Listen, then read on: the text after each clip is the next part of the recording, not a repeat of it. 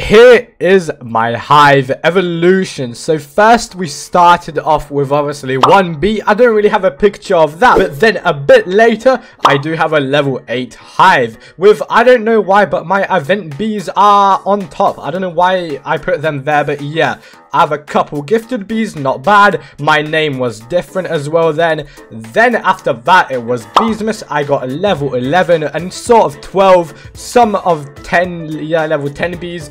Decent hive, couple mythic bees and stuff like that. And then we got a level 17. This was like two Beesmases like later, by the way. Because I quit for one. And that's not bad, I guess, you know, blue. But here we have now my level 20 hive. Wow, okay. It doesn't look bad at all, does it?